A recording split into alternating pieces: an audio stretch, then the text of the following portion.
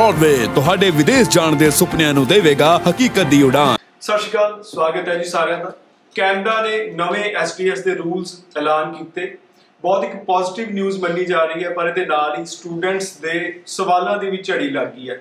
ਸੋ detail ਦੇ ਵਿੱਚ share ਕਰਾਂਗੇ ਤੁਹਾਡੇ ਨਾਲ। ਪ੍ਰੈਜ਼ੈਂਟਲੀ ਕਿਹੜੀਆਂ ਚੀਜ਼ਾਂ ਕਨਫਰਮ ਨੇ ਤੇ ਕਿਹਨਾਂ ਨੂੰ ਹਜੇ ਕਨਫਰਮ ਹੋਣ ਨੂੰ ਥੋੜਾ ਜਿਹਾ ਟਾਈਮ ਲੱਗੂਗਾ। ਅੱਜ ਦੇ ਸਾਡੇ ਗੈਸਟ ਨੇ ਬ੍ਰੌਡਵੇ ਇਮੀਗ੍ਰੇਸ਼ਨ ਦੇ ਮੈਨੇਜਿੰਗ ਡਾਇਰੈਕਟਰ ਅਮਰਜੀਤ ਸਿੰਘ ਕੰਵਰ ਬਹੁਤ ਬਹੁਤ ਸਵਾਗਤ ਹੈ ਜੀ। ਥੈਂਕ ਯੂ ਦੀਪਕ ਜੀ। ਪ੍ਰੋਗਰਾਮ ਦੇਖ ਰਹੇ ਸਾਰੇ ਦੋਸਤਾਂ ਨੂੰ ਮੇਰੇ ਵੱਲੋਂ। ਸਤਿ ਸ਼੍ਰੀ ਅਕਾਲ।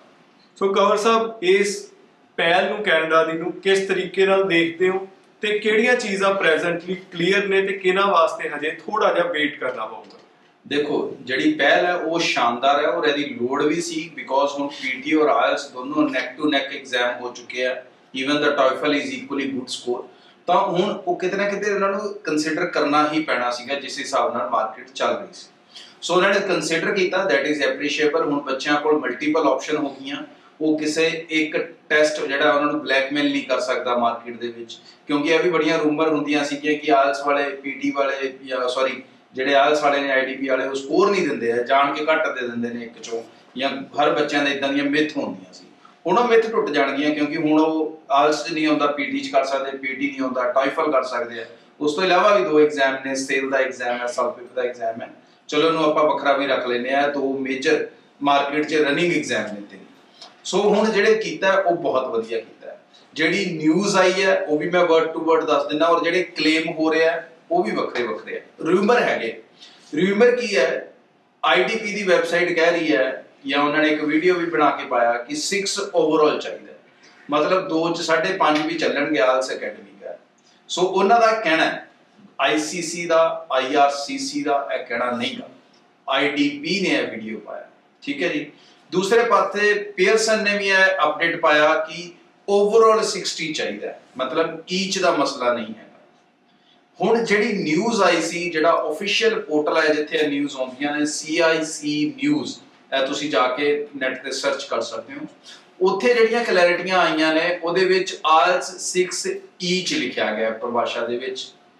ਜਦੋਂ ਪੀਟੀ ਦਾ ਸਕੋਰ ਲਿਖਿਆ ਗਿਆ, ਤਾਂ 60 ਮਿਨੀਮਮ ਲਿਖਿਆ ਗਿਆ ਹੁਣ ਇਹ ਮਿਨੀਮਮ ਈਚ e ਦਾ ਮਿਨੀਮਮ ਹੈ ਕਿ ਓਵਰਆਲ ਦਾ ਮਿਨੀਮਮ ਹੈ ਐਡ ਡਿਫਾਈਨਡ ਨਹੀਂ ਹੈਗਾ।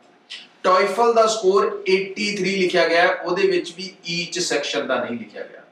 ਹੁਣ ਇੱਥੇ ਮੈਂ ਤੁਹਾਨੂੰ ਇੱਕ ਚੀਜ਼ ਪਹਿਲਾਂ ਦ- ਦੱਸ ਦਿੰਦਾ ਕਿ ਆਲਸ ਦਾ ਸਕੋਰ ਤੇ ਪੀਟੀ ਦਾ ਸਕੋਰ ਇਹਦੇ ਵਿੱਚ ਕੀ ਹੁੰਦਾ? ਚਾਰ ਮੋਡਿਊਲਾਂ ਦਾ ਟੋਟਲ ਫਿਰ ਚਾਰ ਨਾਲ ਡਿਵਾਈਡ ਤੇ ਐਵਰੇਜ ਜੋ ਵੀ ਸਕੋਰ ਬਣਦਾ, ਉਹਨੂੰ ਆਪਾਂ ਓਵਰਆਲ ਸਕੋਰ ਕਹਿੰਦੇ ਹਾਂ। ਬਟ ਟੋਇਫਲ ਦੇ ਵਿੱਚ ਇਦਾਂ ਨਹੀਂ ਹੁੰਦਾ। ਉਹਦੇ ਵਿੱਚ ਚਾਰ ਮੋਡਿਊਲਾਂ ਦਾ ਪਲੱਸ ਕਰਕੇ ਜੋ ਜੋੜ ਬਣਦਾ ਹੈ, ਉਹ ਓਵਰਆਲ ਸਕੋਰ ਕਹਾਉਂਦਾ ਸੋ ਉਹ 83 ਹੈ। ਹੁਣ ਇਹਦੇ ਤੇ ਜਿਹੜੀ ਕਨਫਿਊਜ਼ਨ ਹੈ ਕਿ ਈਚ ਦੀ ਰਿਕੁਆਇਰਮੈਂਟ ਕੀ ਹੈ ਓਵਰਆਲ ਦੀ ਕੀ ਹੈ ਇਹਦੇ ਉੱਤੇ ਹੇਜੇ ਬੱਚਿਆਂ ਨੂੰ ਮੇਰੇ ਖਿਆਲ ਨਾਲ ਸਬਰ ਰੱਖਣਾ ਪਏਗਾ। ਕਿਉਂਕਿ ਇਹਦੀ ਐਗਜ਼ੀਕਿਊਸ਼ਨ ਹੋਣੀ ਹੈ 10 ਅਗਸਤ ਨੂੰ। ਸੋ ਡੈਫੀਨਿਟਲੀ ਜਦੋਂ ਇਹਦੀ ਐਗਜ਼ੀਕਿਊਸ਼ਨ ਹੋਣੀ ਹੈ ਕੈਨੇਡਾ ਗਵਰਨਮੈਂਟ ਬਕਾਇਦਾ ਆਈਆਰਸੀਸੀ ਆਪਣੀ ਐਸਡੀਐਸ ਚੈੱਕ ਲਿਸਟ ਨੂੰ ਅਪਡੇਟ ਕਰੂ ਜਦੋਂ ਐਸਡੀਐਸ ਚੈੱਕ ਲਿਸਟ ਨੂੰ ਅਪਡੇਟ ਕਰੇਗੀ, ਤਾਂ ਉਹਦੇ ਵਿੱਚ ਇਹ ਰਿਊਮਰ ਕਲੀਅਰ ਹੋ ਜਾਣਗੇ ਕਿ ਇਹ ਸਕੋਰ ਚਾਹੇ ਆਈਲੈਟਸ ਦਾ 6 ਹੈ ਪੀਟੀ ਦਾ 60 ਹੈ ਔਰ ਟਾਈਫਲ ਦਾ 83 ਹੈ। ਇਹ ਓਵਰਆਲ ਓਵਰਆਲ ਹੀ ਚਾਹੀਦੇ ਨੇ ਜਾਂ ਈਚ ਮੋਡਿਊਲ ਦਾ ਸੈਕਸ਼ਨ ਵੀ ਮੈਟਰ ਕਰੂਗਾ। ਇਹਦੀ ਕਲੈਰਿਟੀ ਹਜੇ ਨਹੀਂ ਹੋ ਸਕਦੀ 10 ਅਗਸਤ ਤੋਂ ਪਹਿਲਾਂ। ਸੋ ਹਜੇ ਤੁਸੀਂ ਇਹੀ ਮੰਨ ਕੇ ਚੱਲੋ ਕਿ ਅੱਜ ਦੀ ਡੇਟ 'ਚ ਜਿਹੜੀ ਫਾਈਲ ਲੱਗ ਰਹੀ ਹੈ, ਉਹ ਅਗਰ ਆਲ 6 ਈਚ ਵਾਲੀ ਹੈ, ਤਾਂ ਉਹ ਜਾ ਰਹੀ ਹੈ ਐਸਡੀਐਸ ਦੇ ਅੰਦਰ। ਇਸ ਤੋਂ ਇਲਾਵਾ ਤੁਹਾਡੇ ਕੋਲ ਕੁਝ ਵੀ ਹੈ ਤੇ ਕਿੰਨਾ ਵੀ ਸਕੋਰ ਹੈ, ਉਹ ਫਾਈਲ ਨਾਨ ਐਸਡੀਐਸ ਹੈ।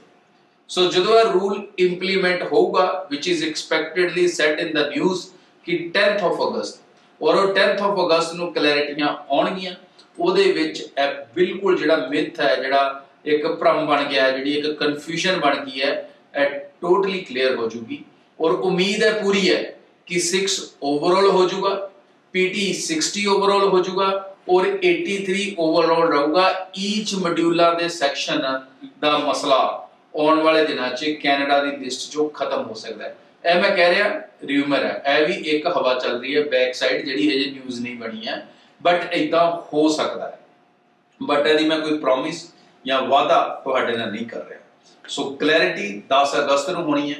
ਉਸ ਤੋਂ ਪਹਿਲਾਂ ਇਸ ਟੌਪਿਕ ਦੇ ਉੱਤੇ ਬੈਸਣਾ, ਕਿਸੇ ਦੇ ਵੀ ਵੀਡੀਓ ਤੇ ਕਮੈਂਟ ਕਰ ਲੈਣਾ, ਉਹ ਐਂਟਰਟੇਨਮੈਂਟ ਕਰ ਸਕਦੇ ਆ ਬਟ ਉਹਦਾ ਸਹੀ ਇਨਫੋਰਮੇਸ਼ਨ ਜਿਹੜੀ ਆ, ਉਹ ਬਾਅਦ ਚ ਮਿਲੂਗੀ। ਪੀਅਰਸਨ ਦੀ ਵੈਬਸਾਈਟ ਚੈੱਕ ਕਰਨ ਨਾਲ ਆਇਲਸ ਦੀ ਵੈਬਸਾਈਟ ਚੈੱਕ ਕਰਨ ਨਾਲ ਇਹਦੀ ਕਨਫਰਮੇਸ਼ਨ ਨਹੀਂ ਗੀ ਕਨਫਰਮੇਸ਼ਨ ਜੋ IRCC ਕਹੇਗਾ, ਜੋ ਕੈਨੇਡਾ ਹਾਈ ਕਮਿਸ਼ਨ ਕਹੇਗਾ ਫਾਈਨਲ ਸ਼ਬਦ ਉਹੀ ਹੋਣਗੇ। ਤੇ ਉਹਨਾਂ ਨੇ ਹਜੇ ਆਪਣੇ ਫਾਈਨਲ ਸ਼ਬਦ ਡਿਸਕਲੋਜ਼ ਇਸ ਮੈਟਰ ਤੇ ਨਹੀਂ ਕੀਤੇ। ਸੋ ਕਮਰ ਸਾਹਿਬ ਸਭ ਤੋਂ ਪਹਿਲਾਂ ਤੁਸੀਂ ਕਿਹਾ ਕਿ ਵਧੀਆ ਗੱਲ ਹੈ ਗੁੱਡ ਨਿਊਜ਼ ਹੈ। ਸੋ ਉਹਦੇ ਬਿਹਾਫ ਤੇ ਮੈਂ ਇੱਕ ਗੱਲ ਪੁੱਛਣੀ ਚਾਹੂੰਗਾ। ਲੱਗਦਾ ਹੈ ਹੁਣ ਆਉਣ ਵਾਲੇ ਦਿਨਾਂ 'ਚ ਕੈਨੇਡਾ ਵੱਧ ਬੱਚੇ ਜਾ ਸਕਣਗੇ? ਸਰ ਕੱਲੇ ਕੈਨੇਡਾ ਨਹੀਂ ਜਾਣਗੇ। ਹਰ ਕੰਟਰੀ ਐਜੂਕੇਸ਼ਨ ਇੰਡਸਟਰੀ ਨੂੰ ਕੈਸ਼ ਕਰਨ ਤੇ ਲੱਗੀ ਹੋਈ ਹੈ। ਚਾਹੇ ਯੂਐਸ ਹੈ, ਜਿੱਥੇ ਇੰਨਾ ਸਕਸੈਸ ਰੇਟ ਪਹਿਲਾਂ ਨਹੀਂ ਸੀ ਹੁੰਦਾ ਔਰ ਅੱਜ ਦੀ ਡੇਟ 'ਚ ਸਭ ਤੋਂ ਜ਼ਿਆਦਾ ਵੀਜ਼ੇ ਦੇਖਣ ਨੂੰ ਮਿਲ ਰਹੇ ਔਰ ਚਾਹੇ ਯੂਕੇ ਹੈ, ਜਿਹਨੇ ਆਪਣਾ ਸਿਸਟਮ ਵਿਦਆਊਟ ਆਈਲੈਟਸ ਤੱਕ ਵੀ ਰਿਲੈਕਸ ਕੀਤਾ ਹੋਇਆ ਹੈ ਕੁਝ ਸਿਲੈਕਟਡ ਪ੍ਰੋਫਾਈਲਸ ਦੇ ਔਰ ਚਾਹੇ ਹੁਣ ਕੈਨੇਡਾ ਔਰ ਆਸਟ੍ਰੇਲੀਆ ਵੀ, ਇਹ ਜਿਹੜੀ ਸਖਤਾਈ ਆਈ ਹੈ ਲੰਬੀ ਨਹੀਂ ਰਹਿਣ ਵਾਲੀ, ਹਾਰਡਲੀ 5-6 ਮਹੀਨੇ ਇੱਕ ਦੀ ਗੱਲ ਹੈ। ਇਹਦੇ ਬਿਨਾ ਸਟੂਡੈਂਟਸ ਦੇ ਬਿਨਾ ਸਰਦਾ ਇਹਨਾਂ ਕੰਟਰੀਆਂ ਦਾ ਵੀ ਨਹੀਂਗਾ। ਕਿਉਂਕਿ ਜੇ ਬੱਚੇ ਨਹੀਂ ਚੱਕਣਗੇ ਤੇ ਕਾਲਜਾਂ ਦੀਆਂ ਤਨਖਾਹਾਂ ਪੱਲਿਓਂ ਹੀ ਭਰਨਗੇ ਸੋ ਬੇਫਿਕਰ ਰਹੋ। ਜੋ ਵੀ ਸਿਸਟਮ ਹੈ, ਉਹ ਤੁਹਾਡੇ ਹੱਕ 'ਚ ਹੀ ਆਊਗਾ ਫੇਵਰ 'ਚ ਹੀ ਆਊਗਾ। ਔਰ ਆਉਣ ਵਾਲਾ ਭਵਿੱਖ ਇੰਟਰਨੈਸ਼ਨਲ ਸਟੂਡੈਂਟ ਦੇ ਬਹੁਤ ਜ਼ਿਆਦਾ ਫੇਵਰ 'ਚ ਰਹੇਗਾ। ਸੋ ਬਹੁਤ ਸਾਰੇ ਸਟੂਡੈਂਟਸ ਕਮੈਂਟ ਦੇ ਵਿੱਚ ਪੁੱਛ ਰਹੇ ਨੇ, ਮੈਂ ਪੀਟੀ ਕੀਤੀ ਹੋਈ ਹੈ, ਕਿ ਮੈਂ 10 ਅਗਸਤ ਤੱਕ ਵੇਟ ਕਰਾਂ? ਦੇਖੋ, ਬਿਲਕੁਲ, ਮੇਰੀ ਇਹ ਐਡਵਾਈਸ ਹੈ, ਜਿਹੜਾ ਬੱਚਾ 60 ਦੇ ਸਕੋਰ ਨੂੰ ਟੱਚ ਕਰ ਰਿਹਾ, ਉਹ ਜ਼ਰੂਰ ਵੇਟ ਕਰੇ। ਜਿਹੜਾ 60 ਦੇ ਸਕੋਰ ਨੂੰ ਟੱਚ ਨਹੀਂ ਕਰ ਰਿਹਾ, ਉਹ 60 ਦਾ ਸਕੋਰ ਟੱਚ ਕਰਨ ਦੀ ਕੋਸ਼ਿਸ਼ ਕਰੇ। ਔਰ ਜਿਹਦੇ ਕੋਲ ਟੱਚ ਹੋ ਹੀ ਨਹੀਂ ਰਿਹਾ, ਫਿਰ ਉਹਦੇ ਰੁਕਣ ਦਾ ਕੋਈ ਫਾਇਦਾ ਨਹੀਂ, ਉਹ ਆਪਣੀ ਫਾਈਲ ਲਾਂਚ ਕਰ। ਸੋ ਸਟੂਡੈਂਟਸ ਬਹੁਤ ਤੇਜ਼ੀ ਨਾਲ ਜਿਹੜੇ ਅਪਡੇਟ ਆ ਰਹੇ ਨੇ ਕੈਨੇਡਾ ਦੇ, ਇਹਨਾਂ ਤੇ ਕਲੈਰਿਟੀ ਵੀ ਆਊਗੀ। ਸੋ ਲਗਾਤਾਰ ਅਸੀਂ ਇਹਦੇ ਤੇ ਅਪਡੇਟਸ ਤੁਹਾਡੇ ਨਾਲ ਸ਼ੇਅਰ ਕਰਦੇ ਰਵਾਂਗੇ। ਚੈਨਲ ਨੂੰ ਜ਼ਰੂਰ ਸਬਸਕ੍ਰਾਈਬ ਕਰਕੇ ਰੱਖੋ। ਸਤਿ ਸ਼੍ਰੀ ਅਕਾਲ। ਬ੍ਰੌਡਵੇ ਤੁਹਾਡੇ ਵਿਦੇਸ਼ ਜਾਣ ਦੇ ਸੁਪਨਿਆਂ ਨੂੰ ਦੇਵੇਗਾ ਹਕੀਕਤ ਦੀ ਉਡਾਨ।